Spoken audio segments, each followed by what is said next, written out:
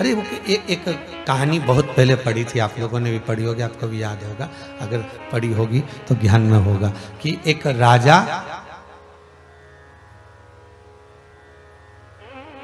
की दासी ने उसको पात्र में जल ला कर दिया। और पात्र में जब जल ला कर दिया तो पात्र की जो किन्नौर थी ना, राजा को देते समय, वो किन्नौर उसके हाथ में गड़ गई और उंगली कट गई। राजा को क्रोध आया। दासी को मृत्यु दंड दिया जाए। और मैं अभी मेरे बेटे की सगाई करने जा रहा हूँ। आने के बाद इसको मृत्यु दंड दूँगा। आने के बाद इसको मार दूँगा।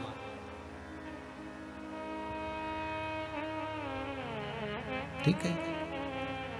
दासी की आँख में अश्रु थे। रो रही है। उसने महामंत्री से कहा, मंत्री जी, मैंने कोई दोष नहीं करा। राजा ने हाथ में कलश झेला, उंगली कट गई। अब उसमें मेरा क्या दोष है? आप बताइए, महामंत्री ने कहा, आपका तो कोई दोष है ही नहीं। आपका कोई दोष नहीं।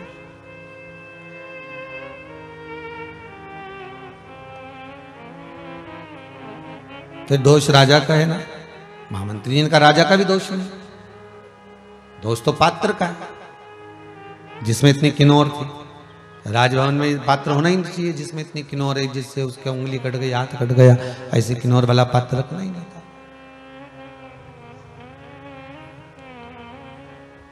अब महामंत्री ने एक दिन राजा से कहा, महाराज जी, कोई बात नहीं, उंगली कट भी गई ना तो कोई टेंशन मत लीजिए, कहीं ना कहीं भगवान कुछ अच्छा ही सोचा होगा। भगवान ने कुछ अच्छा सोचा हमने बहुत पहले कहानी सुनी थी, आज आपके सम्मुख में आई है तो कह दे। भगवान ने कुछ अच्छा ही सोचा होगा, राजा घोड़े पर सवार रथ में बैठकर लड़के की सगाई करने चला, संबंध पक्का करने चला। जब संबंध पक्का करने के लिए जब जा रहा है, संबंध पक्का करने के लिए जब पहुँच रहा है, बीच मार्ग में जाते जाते आक्रमण हो गया। भीलों ने आक्रमण कर दिया। वन में रहने वाले वनचरों ने आक्रमण कर दिया। उसको पकड़ लिया, पकड़ा और ले जाकर मारने के लिए आतुर कि अब कुछ नहीं मिला। ये आखिरी का मिला है। इसी की बलि चढ़ाना है देवी को।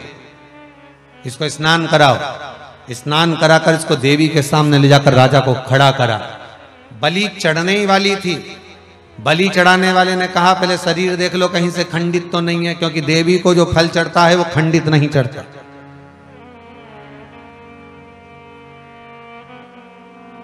इसको खड़ा करा तो इसका शरीर देखा तो उंगली कटी हुई थी। हुजूर, सरकार, इसकी तो उंगली कटी है, इसकी बलि नहीं चढ़ सकती। छोड़ दो इसको। उसको छोड़ दिया। राजा अपने नगर में पहुँचा तो दासी को तो छोड़ दिया। महामंत्री से कहा, तूने कहा था, भगवान जो करता है, सब अच्छा करता है। अगर उंगली भी कटी है परमात्मा जो कर रहा है, सब अच्छा कर रहा है। अगर उंगली भी कटी है तो उसमें कुछ ना कुछ हमारा अच्छा हुआ होगा। परमात्मा ने कुछ सोचा होगा।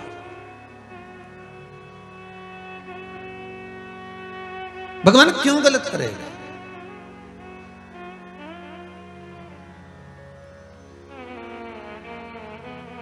परमात्मा कभी किसी का अहित नहीं करता। हमारे कर्म, फिर फिर वही बात आ गई। ईश्वर आपको माफ़ कर सकता है, पर कर्म माफ़ नहीं करेगा। मत बुरे कर्म कर बंदे, वरना पछताएगा। भगवान की आँखों से तू बच नहीं पाएगा, तू बच नहीं पाएगा। हमारे कर्म, कभी हमको माफ़ नहीं